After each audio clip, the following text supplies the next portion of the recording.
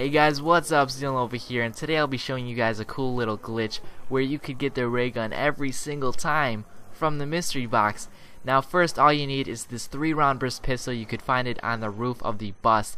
Then you run over to the box, you buy the box, then you shoot one 3 round burst at the center of the box. You go to prone, stand up, shoot one more burst at the top of the box, and then you get the ray gun that's it's just amazing. Like I, you see, it was just one try.